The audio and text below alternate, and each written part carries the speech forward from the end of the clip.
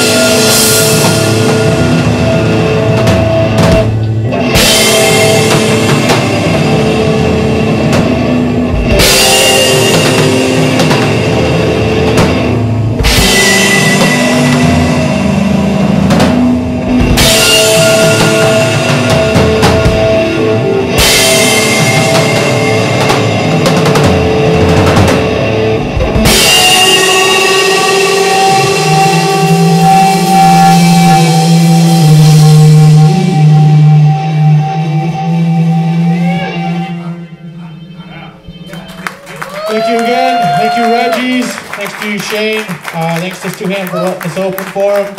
And uh, like I said, we're Sons of Ra. Come see us in the back if you like what you heard. We got some CDs and some shirts and such. And uh, stick around for the man.